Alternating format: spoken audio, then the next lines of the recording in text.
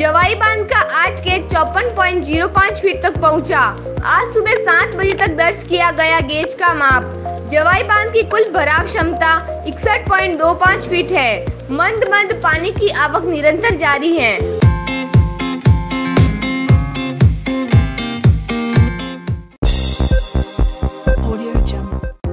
बाली उपखंड के वेलार में सार्वजनिक कुएँ के भूमि पूजन का कार्यक्रम किया गया। कार्यक्रम में कोटार सरपंच के प्रतिनिधि एवं पूर्व सरपंच थानाराम प्रजापत ने किया। इस मौके पर उन्होंने कहा कि ग्रामीण को पेयजल समस्या से निजात मिलेगी। इस मौके पर पंडित नरेंद्र महाराज, कान सिंह बेलार श्रवण माली, दुर्गा शंकर रावल, अंकित सिंह, चेतन देवासी आदि लोग मौजूद थे।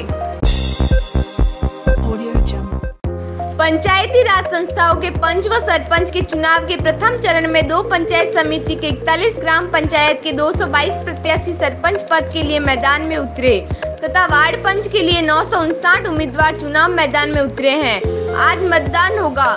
जिला निर्वाचन आयोग अधिकारी अंशदीप सिंह ने बताया कि रायपुर पंचायत समिति के 40 ग्राम पंचायत के 219 सरपंच प्रत्याशी चुनाव लड़ रहे हैं। पंचायत समिति रानी के पिलौवनी ग्राम पंचायत के तीन उम्मीदवार सरपंच का चुनाव लड़ रहे हैं। पंचायत चुनाव का आज का अपडेट 20.18 प्रतिशत रायपुर 17.32 प्रतिशत रानी की ग्राम पंचायत पिलोवनी में मतदान हुआ। औसत मतदान 20.9 प्रतिशत रहा।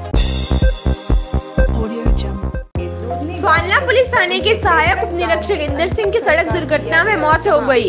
एक मुलजिम की तलाश में कार लेकर नाना भीमाना क्षेत्र में गए थे सहायक उप निरीक्षक इंदर सिंह मवेशी को बचाने के चक्कर में कार असंतुलित होकर पलट गई, जिसमें उनकी मौत हो गई। सहायक उप निरीक्षक श्री इंदर सिंह के पैतृक गाँव दूधनी में राजकीय सम्मान के साथ अंतिम संस्कार किया गया सरकार द्वारा कोरोना को लेकर नई गाइडलाइंस में शादी, विवाह पार्टी धार्मिक कार्यक्रम में 50 लोगों से बढ़ाकर 100 लोगों तक सम्मिलित कर सकते हैं। नई गाइडलाइन से विवाह संबंधित व्यवसाय, लोगों ने नई गाइडलाइंस का किया स्वागत।